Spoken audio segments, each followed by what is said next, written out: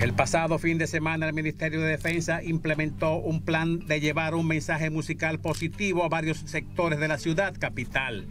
Una carroza preparada con luces y sonido y la presencia de un cantante lírico. Ensayos, afinación y llega el helicóptero con el ministro Paulino Sem. Coordinaciones y es casi la hora de salir a las 6 de la tarde por la rotonda Arroyo Hondo, canciones.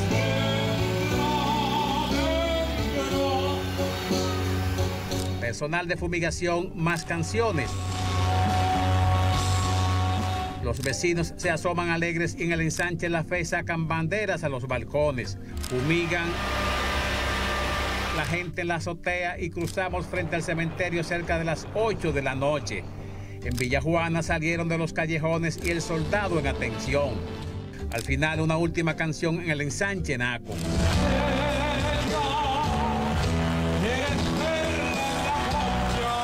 El sábado fue de toque de queda a impedimento de viajes al interior. La parada del kilómetro 9 cerrada por las autoridades, todo muerto y algunos esperando en que irse al Cibao. Otros avanzan en motores y me voy a la Avenida de las Américas. Allí están los de la Armada de la República Dominicana.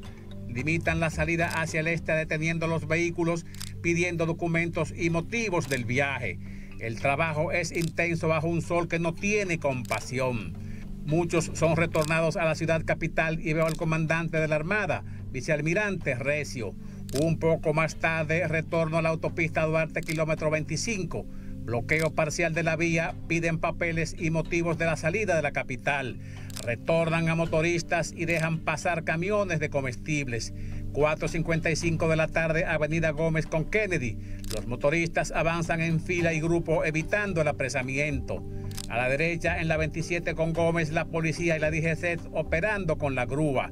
Se llevan el carrito y al panadero no le valió decir que le cogió la hora en el horno. En el puente Voz cerrada la entrada a la capital desde el este. Todo el procedimiento de una operación de pinzas para evitar la propagación de la pandemia de coronavirus. A principio de semana, la sesión 181 presidida por Aristide Victoria Yep, del lunes 6 en el Senado para prolongar por 25 días más las medidas de emergencia sobre el control de la pandemia. Y se acogió la petición del Poder Ejecutivo. Vamos a los trámites para la entrega de un fallecido por el COVID-19 en el INASIF del cementerio Cristo Redentor. La semana pasada me llamó la atención lo que sucedía con el paso de empleados del INASIF por dentro del cementerio vestidos de azul.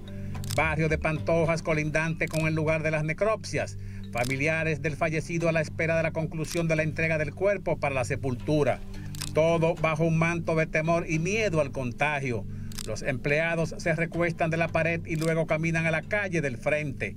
Retornan. Otro sale, llega al abanete con el ataúd encargado. Lo sacan y lo llevan al paso hasta la puerta corrediza. Las personas caminan por el frente del INASIF sin ningún tipo de limitaciones sanitarias. Y el empleado lleva los documentos finales. Un empleado entra a la parte de empujar el portón. El policía municipal con su escopeta 12. Los familiares avanzan el hombre con protección de azul va a la camioneta y retorna.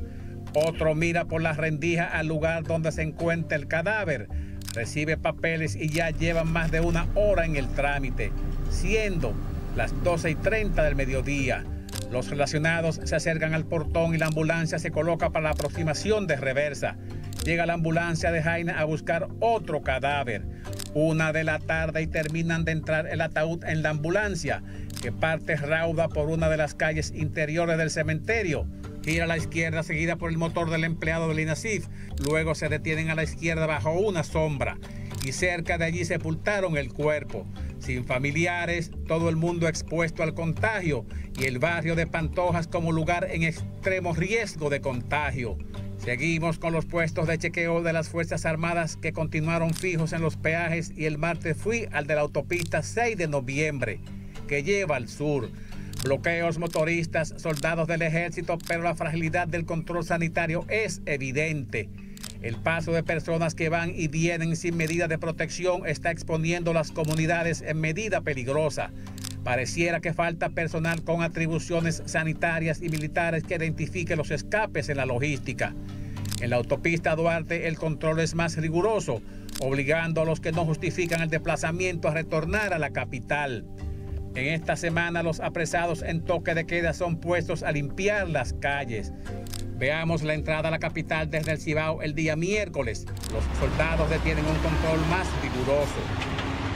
Detienen con mayor precisión a los vehículos y conductores con perfiles que no califican el ingreso a la capital. También esta semana la licenciada Verónica Marte de Gonel, que preside la Asociación de Esposas de Oficiales del Ejército, envió ayuda a la señora Jennifer en Cristo Rey. La dama había sido apresada al final del mes pasado en una calle de Cristo Rey, violando en las noches el toque de queda.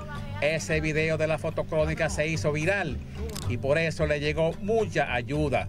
La Policía Nacional apresó al segundo implicado en el asesinato del teniente de los Santos, Guillén, en Mano Guayabo, esquina 27 de febrero.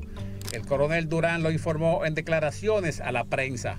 Recordamos su muerte y sepelio en la comunidad de Los Chácaros la semana pasada. Por último, las autoridades continuaron aplicando medidas a los que violan el toque de queda en horas de la tarde y de la noche. En el destacamento de vivienda los sacan en la mañana a decidir si quieren sometimientos o limpiar las calles. El fiscal y el coronel de la policía les hablan y ellos aceptan, saliendo en fila a la calle. Le proporcionan guantes y mascarillas para protección de contagio. Terminan de limpiar y retornan con la lección aprendida y sobre todo vivos. El oficial de la Fuerza Aérea de la República Dominicana le entrega su certificado de cumplimiento. Ojalá se aprendieran la lección y eso evite que los cementerios continúen recibiendo a los que no acatan las medidas del gobierno. Señores, la gente cree que es un cuento el caso de la pandemia.